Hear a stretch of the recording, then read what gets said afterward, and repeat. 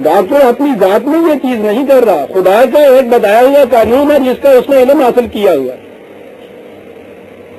वही कानून आप इलम हासिल कर, इलम हासिल कर लें उस कानून का। आप खुद कर लें ये एहतियात जो है, ये तावन है। आप डॉक्टर साहब के यहाँ ये कुछ करने के लिए जाते हैं। उनको अगर किसी मुकदमे में वो लोग जाते हैं तो वो वकील के पास आते हैं। जाती तौर पर नफा और नुकसान के किसी को भी इख्तियार और हक हासिल नहीं है। जब हम इन रूहानियत वालों की तरफ़ जाते हैं तो वहाँ इस तरह नहीं जाते जैसे डॉक्टर के यहाँ जाते हैं। वहाँ ये होता है कि हज़रत साहब की निगाह हो जाएगी तो सारे बलेदर दूर हो जाएँगे। ये नहीं है कि डॉक्टर सही नुस्खा देगा तो ये हो जाएगा। दवाई फ़ायदा करेगी। ना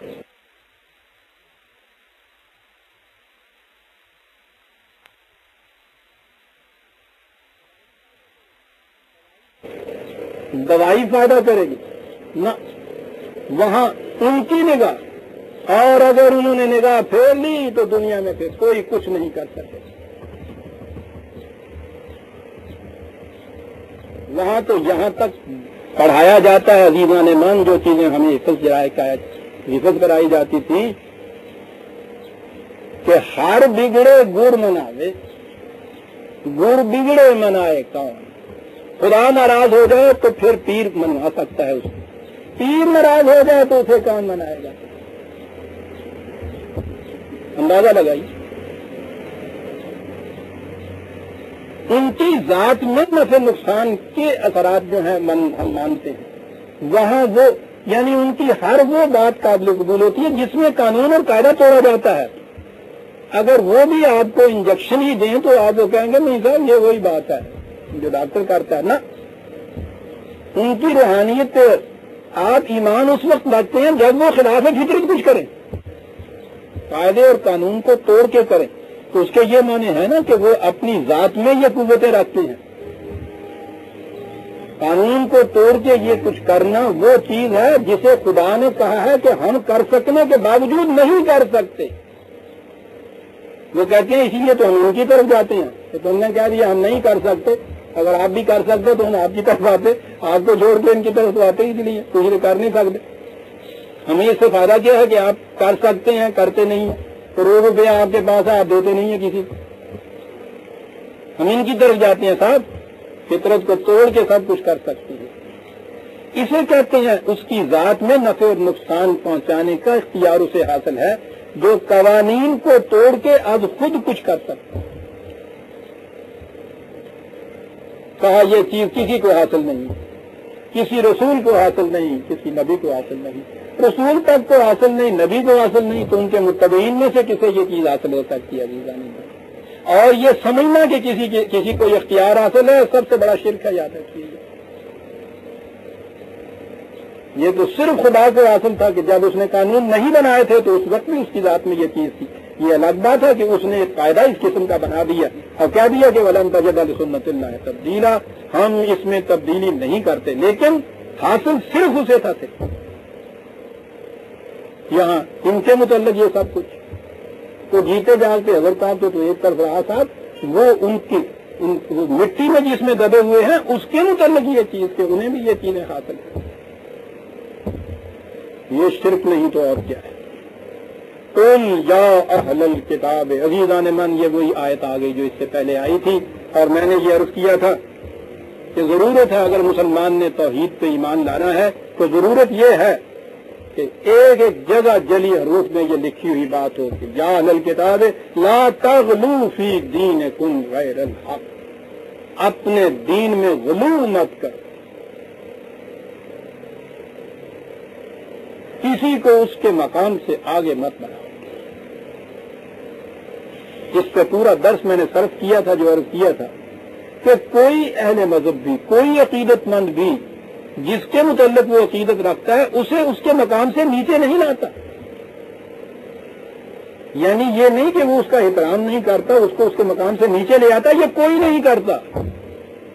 कोई दूसरा उनकी शान में कुछ कह देता है तो उसके सीने में छुरा घूम देते हैं। करते क्या है? गुलू उनको उनके मकाम से आगे ले जाते वो ये नहीं कहते कि नजस नजस है, मदीना मदीना है, काबा काबा है। वो ये भी नहीं कहते कि सही साहब, हम नजस मदीने और काबे को क्या समझते हैं? जैसे ये कसूर है, लाहौर है, पाक बतन है, इसी इसी तरह से वो शहर है, इसमें रखा गया है। ये तो तनकीस हो गई ना? तनकीर हो गई ना? नीचे लाना हो गया ना? कहते हैं वो ये नहीं करते। तो कहते ये हैं कि नजफ मेरा मदीना है। चढ़ाया ना एक मकाम ऊपर। मदीना मेरा काबा है। किया ना एक सीढ़ी ऊँचा। मैं बंदा और तो हूँ। बनाया ना खुदा। उम्मत शाह वलायत हूँ। बनाया ना उनको रसूल। देखा आपने बोलो किसे कहते हैं? एक दर्जा ऊँचा चढ़ाना और जो समझू और कुछ खाके अरब में सोने वाले को और कुछ उनको इस रसूल या बशर की हैसियत से नीचे तो कोई नहीं लाएगा। और कोई समझना क्या है? वही जो कहा गया था कि मैं बंदा और कम जो समझू और कुछ खाके अरब में सोने वाले, मुझे माजूर रखने, मस्त साहबाए मोहब्बत हूँ। अरे जिन्होंने मसीह को खुदा कहा था, उन्होंने दुश्मनी से कहा था उसको खुदा। दुश्मनी करने वालों ने तो सलीब पे कहते हैं चढ़ाया था? ये मोहब्बत वाले थे ना जिन्होंने उसको खुदा बनाया था। और जिन जिन बुजुर्गान अजाम को भी आप इन एक मकाम पे चढ़ाते हैं, एहतराम और तालीम की वजह से चढ़ाते हैं, आप साहबाए मोहब्बत के मस्त होते हैं। ये उधर क्या पेश किया जना हर मुशरक यही कहता है, मुझे माजूर रख में मस्त साहबाए मोहब्बत मेरी आँखों से देखो, क्या आप क्या वो खुद कई दफ़ा हज़रत साहब कहते हैं कि बाबा, ये न करो मुझसे सैदा मैं ये मकाम नहीं ये कुछ नहीं। बाहर आके कहते हैं कि ये कसरत नफी फरमाते हैं आप। असल में। और कोई तो ये कहते हैं कि साहब, इन्हें भी अपने मकाम का पता नहीं। लाओ। घर से आया बहुत बरनाई। इन्हें भी अपने मकाम का पता नहीं है। साथों कुछ शायरी हो रही हमारी आँख से देखो जो तुमको दिखलाए। क्या शेर। हमारी आँख से देखो जो तुमको दिखलाए अदा तुम्हारी जो तुम भी कहो कि हाँ कुछ है। इन्हें इन्हें कहते हैं, तुम्हें तुम्हारे अपने मकान का पता क्या है?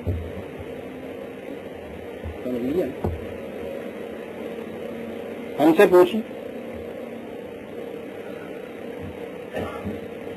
कुल या अहल किताब, ला तगलू फ़ी दीन तुम गैर हक। वला तत्तबू अहवा कौमिन का जल्लू बिन कबल अहवा कौम क्या ये सारी चीज़ जज्बात पे मुनसर होती उन लोगों के जज्बात का इतबा न करना जो इससे पेशतर गुमराह हो गए नाल ब नाल कदम ब कदम चले जा रहे हैं हम सब उनके। जिनसे कहा था कि उनके जज्बात का इतबा न करना गल्लू में कबलो व अगल्लू कसीर। खुद गुमराह हुए और बहुतों को गुमराह किया उन्होंने साथ आप ही गुमराह नहीं होते, दूसरों को भी तो साथ गुमराह करते वजल्लुन सवाई सबील, क्या किया उन्होंने? अफरात और तफरीत दोनों चीज़ें कुरान ला के कहा कि ये जो एक हमवार सरात मुस्तकीम था, रास्ता सीधा जाने वाला, उससे वो भटक गए। उसके बाद कहा कि ये चीज़ें जो हम कह रहे हैं बनी इसराइल के अपने हम पहली बार ये बात नहीं कह रहे। खुदा के सच्चे रसूल जो आए थे, उन्होंने भी इनके मुतलक यही कुछ कहा था, वो इन्हीं के रसूल थे। लोनजीना कफर बनी इसराइल, अला लिसान दाऊद वही सबने मरियम। हज़रत दाऊद ने, वो बनी इसराइल के पैगंबर हज़रत ईसा ने, वो भी बनी इसराइल में थे। कहा, उन्होंने इनसे ये चीज़ कही थी। जिसे लानत कहते हैं, मैं कह चुका हूँ ना। कहा था कि तुम ज़िंदगी की खुशगवारियों से महरूम हो जाओगे, याद रखो। और आखिरी मरतबा तो हज़रत ईसीम ने इंजील के बयान के मुताबिक उनसे कह दिया था कि अब ये चीज़ जो है, इनसे छिन गई बनी इसराइल से और इनके भाइयों के हिस्से में चली गई बनी इसराइल की तरफ़ आ गई साहब। किसे कहते हैं लानत उदीजा ने मन? ये हमारे वाली जो मुरवरा जिसे हम लानत करते हैं ना, ये वो माने नहीं होते जिसमें गाली का सा एक मतलब पाया जाता है। वो बात नहीं होती। इसके माने होता है कि ज़िंदगी की खुशगवारियों से महरूम हो गया दूर हो गया ये। ये चीज़ इनसे कह दी गई थी, कहा यही चीज़ हम कहते हैं। इसलिए ये ना कहें कि साहब ये देखिए, हमें ये कुछ कहते हैं। इनके अपने नबियों ने ये कुछ कहा हुआ। और तौरात उठा के देखिए, अंजील उठा के देखिए, पूछिए नहीं क्या कुछ कहा हुआ है इनके मुतल जाले का बिना असब वकानु जाता ये इसलिए कि ये वही तजावुज कर जाते थे हदूद शिकनी कर जाते थे सरकशी इख्तियार कर लेते थे। किसकी वजह से ये चीज़ हुई? क्योंकि अपने नबियों ने भी उनसे ये चीज़ कही। हम भी यही कुछ कहते हैं। और सबसे बड़ा जुर्म उनका ये था सुनी अजीजा ने मान ये जुर्म। कानुला यतना हो न अम मुन कर फालू हो जो बुराइयाँ माशरे में इनके यहाँ आम हो जाती थी, फिर वो एक दूसरे को उनसे रोकते नहीं थे, टोकते नहीं थे, एक दूसरे बड़ा अहम फरीजा है ये। नज़र में तो ये फिर अमर बिल मारूफ और नहीं अनिल मुनकर वो जो कोटेड होता है, उसका फरीजा सिर्फ़ मौलवी साहब के पास आ जाता है ना वायज के यहाँ। ये उसी का फरीजा रह जाता है। दीन में तो ये चीज़ नहीं होती। दीन में तो वह तवासो बिल हक वह तवासो बिल हर फर्द दूसरे फर्द को हक पर रहने की जम कर रहने की तलकीन करता है एक दूसरे को। इसलिए कि उनमें से, उस जंजीर में से हर कड़ी को पता होता है कि जो कड़ी इसमें कमज़ोर रह गई, सारी जंजीर की कमज़ोरी का बायस बन जाएगी। मैं भी जंजीर की कड़ी नहीं रहूँगी, रहूँगा। अगर वो कड़ी कमज़ोर हो गई, हर कड़ी कोशिश कर दिया कमज़ोर कड़ी को ताकतवर बनाने की। जमाती ज़िंदगी में ये अजीजा ने चीज़ होती है। तवासो बिल हक तवासो बिल सब एक दूसरे को रोकते हैं। आप देखिए इस माशरे के अंदर जो कुरान ने कहा था कि ये इसलिए तबाह हुए, ज़िंदगी की खुशगवारियों से मारूम हुए कि एक दूसरे को रोकते टोकते नहीं थे। वही आगे है ना वक्त हम पे भी। कोई रोकता टोकता नहीं दूसरे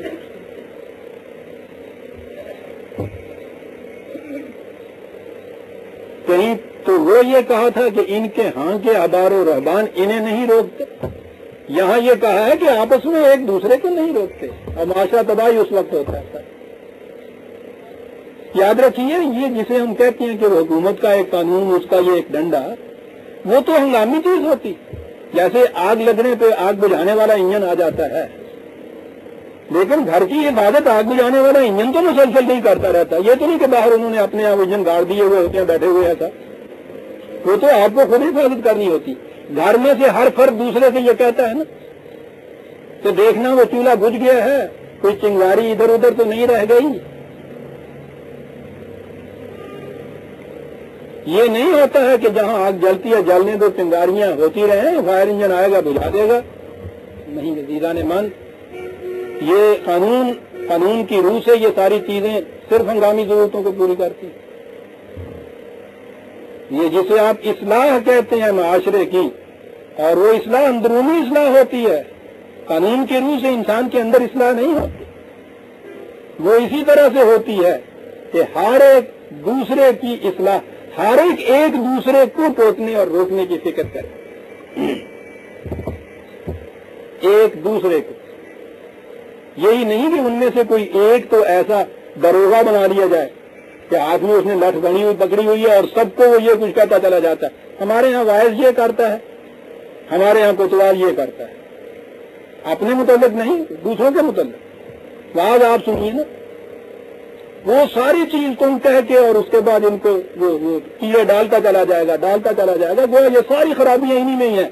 कौम में है, माशरे में है, अपराध में है, तुम में है, इनमें है, ये सब कुछ है। क्या बात याद आ गई। दिशीन में, बनी तमीम में से एक साहब थे, वो मुसलमान हुए। वो ऐसा ग्रोह था कि जो आमतौर पर पहले वाज किया करते थे, खताब लोगों से किया करते थे। वो इधर आए तो उन्होंने आके देखा कि यहाँ कोई गुंजाइश नहीं है। लेकिन जी बहुत चाहता था।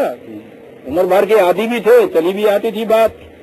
उन्होंने एक दिन ये कहा अगर उम्र से, कि अगर आप ये कहें तो जुमे के इज्तम में जब अभी आप नहीं आए हुए होते तो मैं इनसे उठ के कुछ वाज नसीहत की बात किया कर।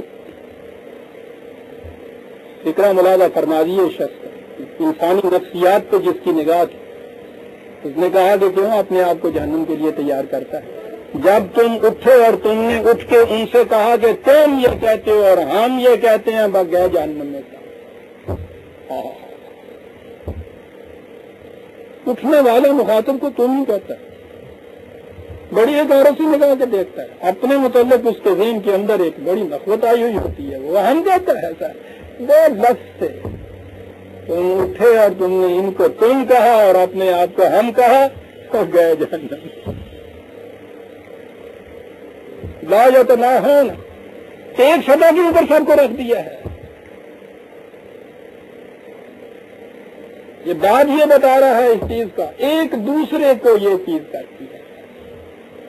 कोई अपने आप को इसमें मुकदस नहीं बनाता। और कुरान ने तो ये कहा लायत करता अंत अपने आप को मुकद्दस ना समझ लिया करो, याद रखो। खुदा जानता है कौन तुम में से मुकद्दस न, अपने आप को दूसरों की सतह पे रखो और एक दूसरे को बुराई से रोको तो लबे समा कानू या कानून।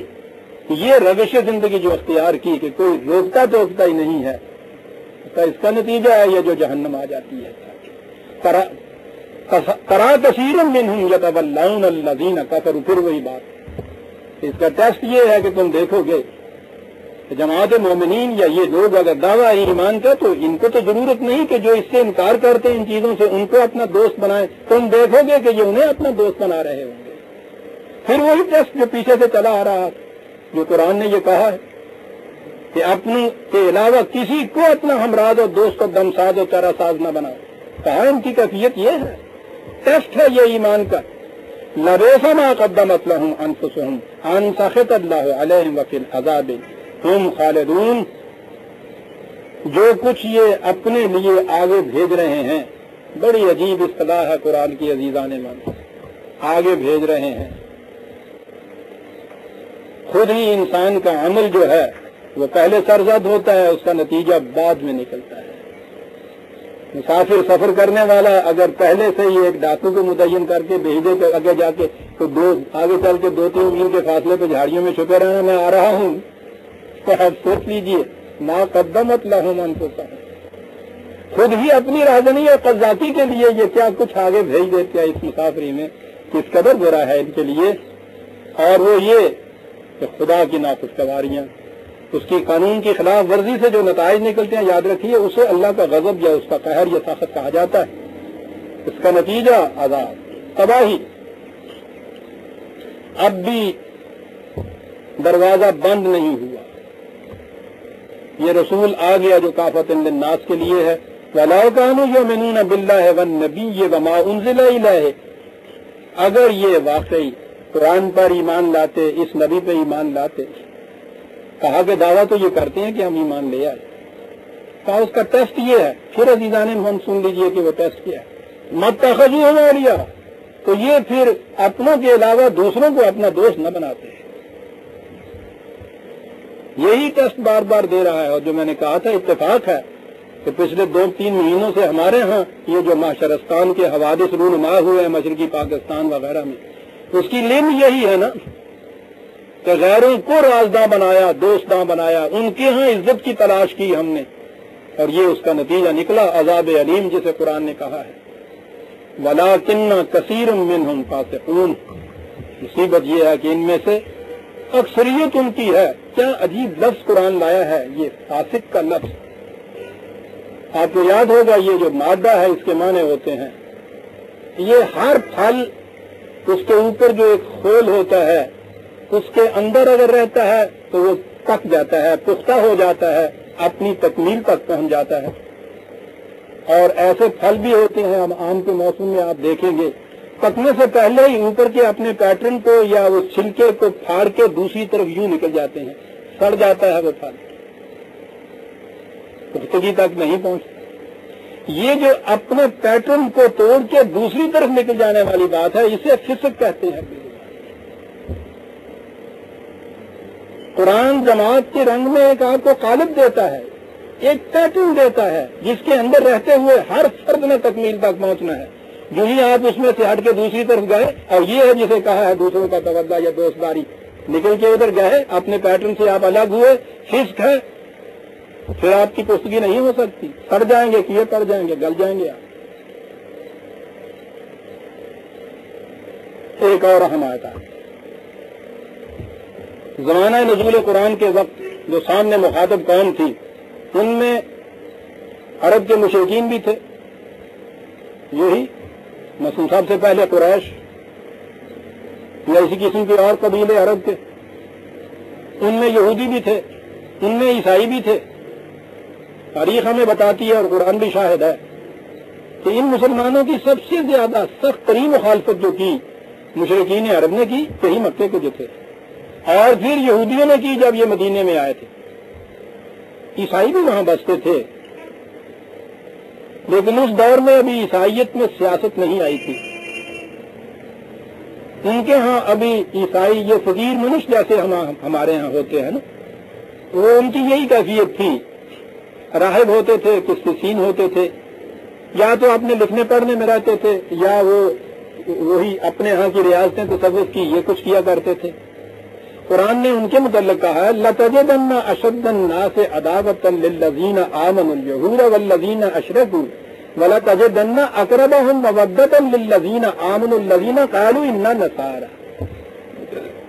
कहा कि तुम देखोगे कि ये मुशरक और यहूद तुम्हारी मुखालफत में सबसे आगे बढ़ चढ़ कर आते हैं और ये जो अपने आप को नसारा कहते हैं, ईसाई कहते हैं, उनकी कैफियत ये है कि वो ऐसे मुतशद नहीं तुम्हारे खिलाफ जाने में वो तुमसे अच्छे मामला रखते हैं मोहब्बत के मामला तुमसे रखते हैं। उनकी कैफियत ये नहीं है।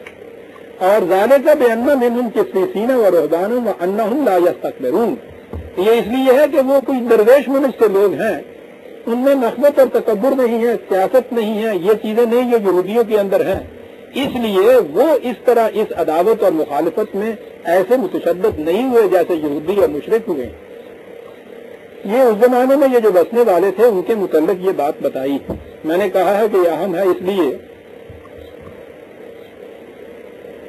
ये जो इसराइल की हुकूमत जिस जमाने ये बनी है, और उन्होंने मुसलमानों के खिलाफ ये कुछ किया है तो उस जमाने में भी हमारे सोडा वाटर की बोतल में बड़ा उदाल आया था।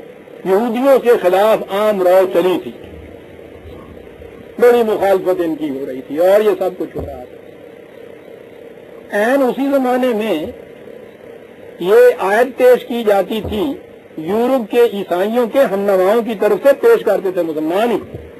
तो देखिए साहब, यहूदियों के मुतल कुरान ने यह कहा कि ये बड़े सख्त अदावत है। ईसाइयों के मुतल नहीं कहा। उन्होंने कहा कि नहीं साहब, ये तो बड़े नरम दिल से लोग हुआ करते हैं।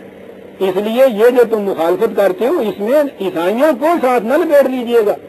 लीजिए साहब, इस आयत की बिना पे ये फतवा सदर किया जाता था।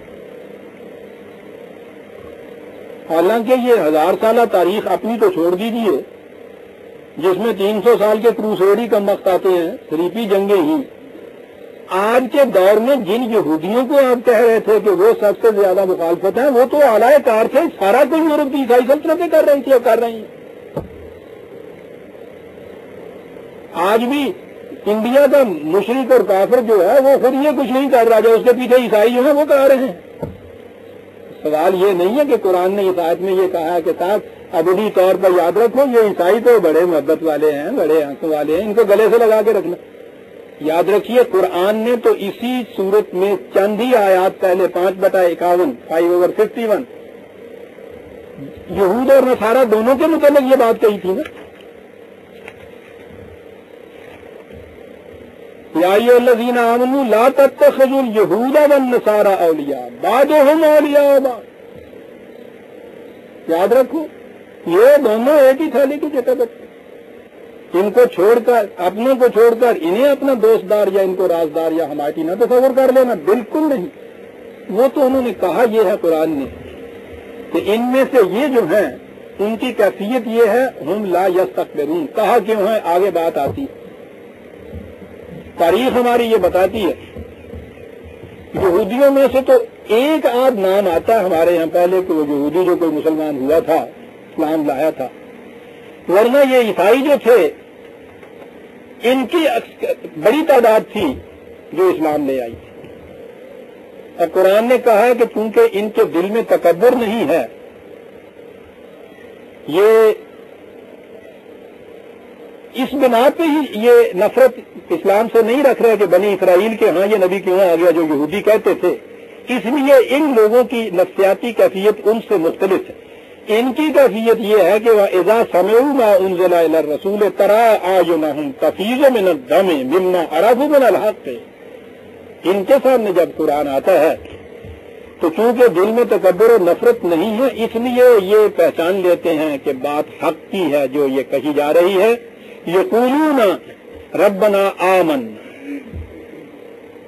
ये ईमान ले आते हैं ये कहते हैं कि अल्लाह हम ईमानदार फक तुम ना शाहिदीन हमें भी इन्हीं में शुमार कर ले ये जो तुमने उम्मत कायम की है जिसका फरीजा दुनिया के अमाल की निगरानी करना है हमें भी इनमें शुमार कर ले यानी कहा यह है कि ये लोग इस्लाम की तरफ़ आ सकते हैं और आ रहे हैं यहूदी नहीं आ रहे हैं। उनके दिल में नफरत है बुग्ज है, अदावत है। इनके दिलों में नफरत और बुग्ज नहीं, इसलिए ये इस तरफ़ मायल हो जाते हैं। और ये कहते हैं कि वमाना नादानों में नबिल्ला है वमा जा अना मिनल हक। वो कहता है कि जब हमारे सामने एक हक आ गया है तो फिर कौन सी बात है जो हमें इससे माने रखे कि हम हक की तरफ़ न आए? देखा ना कि ये लोग जो नफरत और बुग्ज और इंतकाम के जज्बात से अलग हटके कुरान को सोचते थे वो इसकी तरफ़ आ जाते थे। व नतमो अन युद्ध खिलाना रबना माल कौम सालहीन, वही आ गया कि हम तमा ये रखते हैं इस बात की कि खुदा हमें इस कौम में शामिल कर ले जो सालहीन की कौम है। फिर वही कौम में शामिल होने की बात है ईसाइत इनफरादी चीज़ इनके यहाँ ये तस्वुर ही नहीं था और उस वक्त तक तो बिल्कुल सियासी तौर पर भी ये तस्वुर नहीं था। इस कौम में दाखिल होने के लिए कहा कहा कि हमने चूँकि ये कह दिया था कि दरवाजे हारे के लिए खुले हैं, इसलिए बिमा जन्नातिन तजरी बिमा कालू, जन्नातिन तजरी मिन खालिदीन फिया जाले का जजाउल मोहसिन तो इनके इस ईमान और अमाल सालिया का बदला खुदा के यहाँ से मिला। इसलिए नहीं रोक दिए गए इनके दरवाजे इनके बंद कर दिए गए। तो ये ये बनी इसराइल की नस्ल में से थे। इन्होंने दीन ईसाइत कबूल कर रखा था। नहीं साहब वही आज जो कही तो जो भी मान ले आएगा, उसके ऊपर रजा तो सादत के दरवाजे खुल जाएँगे। जाले का जजाय मोहसनीन, इन्हीं की बात नहीं है। जो भी हुसनकाराना अंदाज से ज़िंदगी बसर करता है, उसका नतीजा यही होता है। वल्लाजीना कफर व कजबू भी आ जाते ना उलाए का सुहाबुल जहीन, और जो इन, हमारे कवानीन से इनकार करता है, सरकशी बरता है, तकलीफ़ करता है इनकी। मैंने एक दफ़ा बताया था और आगे भी बताऊँगा। इनकार तो ये है कि खुले बंदो आप कहें कि मैं मुसलमान नहीं तकलीफ़ ये है कि आप ये कहते रहें कि हम इन चीज़ों पे ईमान रखते हैं, अमलन इसको झुटलाएँ कि नहीं, बात ये नहीं, बात वही ठीक है जो मैं कर रहा हूँ। किसे तकलीफ़ कहते हैं? कुरान ने जो कहा था कि आओ हम तुम बताएँ कि ये नमाजी जो हैं, ये दीन की तकलीफ़ कैसे करते हैं? नमाजी दीन की तकलीफ़ रायत दी जो तकजीब भी दीन कैसे ये दीन की तकजीब करते हैं? इनकार नहीं करते। तो गाले गल्ला जी, ये दो ये थी, मगला ये दो अला तामन की। इनकी कैफियत ये है। कि जो माशरे में तनहा रह जाता है, उनमें से हर एक उसे धक्के देता है। जो भूखा रह जाता है, उसके लिए रोटी का फ़िक्र कोई नहीं करता। दीन की तकलीफ़ कर रहे हैं। फवैलिन मुसलिम नदीना हम सलाते साहून ये नमाजी इनमें देखते हैं इनकी कैफियत ये है। देखिए तकलीफ़ करने वाले। इनकी कैफियत ये है कि अपनी सलाद की गर्जो गायद से बिल्कुल गाफिल जो राहुल ये जो कुछ जहरा तौर पर नज़र आता है ना, ये कुछ तो ये कर लेती है। अल्हम्दुलिल्लाह, नमाज़ ठीक हो गई। तो ठीक नहीं हुई तेरी नमाज़ क्यों जी? तेरे हाथ नीचे जरा हो सन अंदाज़ा लगाइए, ठीक है इन चीज़ों की भी ज़रूरत है। पीटी में पेटी वक्त जगह पर बंदी होनी चाहिए, लेकिन इसी तो सफ़ाई, इसी से तो सफ़ाई का फरीदा अदा नहीं हो जाता। नमाज़ के मफरूम से गायब से, गर्ज से गाफिल क्या है वो गर्ज? यमन मारून वो रीत के जिसे बहते चश्मों की तरह हारे के दरवाजे के सामने से गुजरना चाहिए था, उस पर बंद लगा के बैठ जाते हैं। अरायत कजुद्दीन उन्हें भी देखा है जो दावा ईमान का करने के बावजूद तकजीब करते हैं दीन की। ये कहा वल्लाजीना कफर, एक ग्रोह ये है। सिरे से इनकार ही की। वह कज्जबू भी आयात इनकार नहीं किया तकजीब की हमारे दीन आयात की। उलाए का सहाबुल जहीम ये वो लोग हैं जो हीम में रहते आगे बता जहीम के ये क्या माने जिनकी तरक्कियाँ रुक जाएँ, जिनके आगे रुकावटें आ जाएँ। हुआ है ना आपके साथ ये? पैदा हुई हुई है ना रुकावटें। इतनी बड़ी अजीम आज़ाद ममलकत जिसमें जखायर मुमकिन की ये कैफियत है कि दुनिया रश करती है। इसके बावजूद तरक्की की राह मसदूद हुई हुई है आपको। कि तकजीब करते हैं आप कवानी ने खुदाबंदी की। अजीजा ने मान, वक्त तो पाँच एक मिनट बाकी है, लेकिन आगे मजमून दूसरा आ जाता है। हम इसे आइंदा लेंगे। रबना तकबुल मिन्ना इन्ना का तस्मीर अलीम। सूरा मायदा की आयत छियासी तक हम आगे बरदरान अज़ीज़ सतासी तक आइंदा लेंगे। गर्मी ज़्यादा हो गई।